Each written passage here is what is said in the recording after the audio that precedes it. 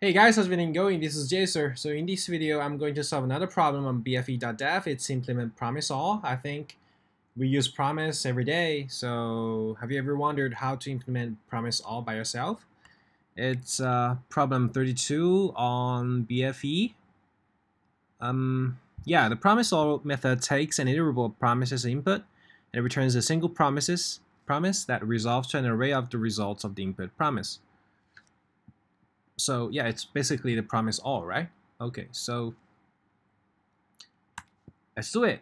I say the parameters array any. Okay, so notice input might have non-promises. I see. So the promise may be some uh, plain values, right? So suppose that all of the input is all of the input are promises. The idea is actually pretty simple we will chain a fulfill handler and error handler to each promise. When they are resolved or when they are fulfilled we will collect their value the resolved value to an array. And if when all the promises are uh, uh, fulfilled we will resolve this promise right? The final promise. If one not once the error happens we will reject that right away. So and after error there will might be a more promise that to be fulfilled or uh, re uh, rejected and we need to keep a flag to ignore them right? So what we need actually will be a result uh, I'm sorry. Of course at the beginning we should return a new a promise uh, not a I'm sorry a promise. Resolve reject.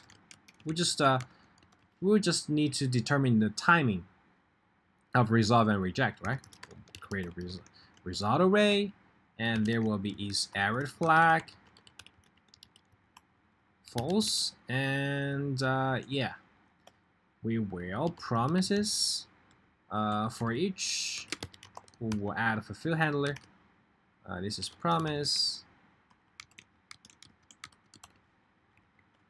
Promise then value and this is error. Because the promises might be fulfilled in different order so we cannot push right? We need to use the index to set them into the right position. So result index to value right? And before we set we need to check if it is errored or not. If error happens we will ignore them. So return and how would we know that all the promises are resolved? We actually need to check the amount of the, the length of the count result, right? But then the result, yeah, it could be a result. I think even if it is sparse array, the length, mm, oh no. If I said the length actually won't cover the uh, the sparse array problem, right? I mean, if I said uh, array there's one thousand equals one. Here the length. Yeah, you, you see. Even even though there is only one element there, the length will be one thousand. Cool. And uh, so we need to another way, another way to check if they are uh, resolved or not. So actually, it's very simple. Let uh, resolved fulfilled Mm -hmm. Fulfilled. The spelling is right. Fulfilled. Okay. Fulfilled account equals zero. If it is a result uh, fulfilled, we increment it. And if equals to promises, then it this means that all the promises are filled, right? So we just resolve the result. So this will be no problem. And when once error happens, we do the error check again and uh, we just reject it right away, right? Reject error, and don't forget to update the flag. True. Okay, last problem. All the input might have the input might have uh, something else than promise. So we, what we do, they will be treated as plain values, right? So if we need to update them Okay. Mm. Should I modify it? Leave the promises the array. Yeah, okay, I will say wrapped promises. I, I don't want to modify the the origin original promises. So I will say uh, wrapped promises equals promises map item item okay if it is already a promise instance of promise then item right? If not we just wrap it with resolve. Item. Cool. So this is this is uh, a rat um, I'll just use underscore. Okay this is looks better um, cleanse promises uh, uh, yeah I just underscore here sorry I don't have a better name for this okay so this will be promises this so this original argument will not be used anymore. We use promises here. Cool. This is it, I think. Let's run the code. Mm. Promise is prom z 911 prom z. Okay. Oops. There's no prom z.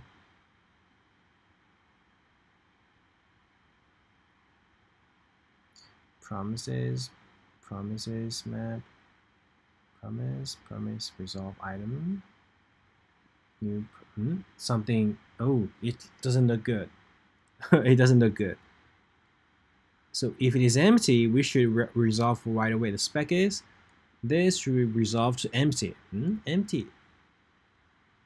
Ah I see. If it is empty yeah yeah yeah I see. If it is empty there is no fulfilled handler. Be called. So yeah.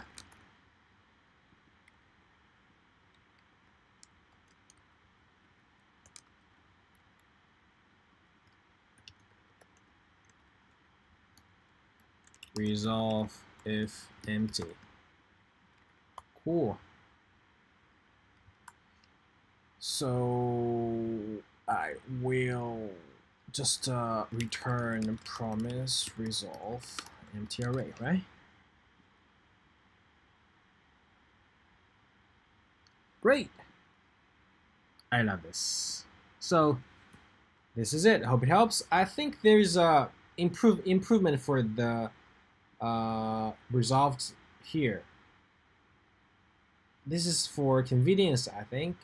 Actually, I think I could filter out the real promises and add uh, the fulfilled handler here. For the rest, for the rest values, it will be initialized into this result array. Could we do this now? Uh, Yeah, I think I can. Um, but I won't do this. I'll leave it to you. Uh, it's a minor improvement. The basic idea, the core logic here doesn't change. So yeah, that's all for this one. Hope it helps. I'll see you next time. Bye bye.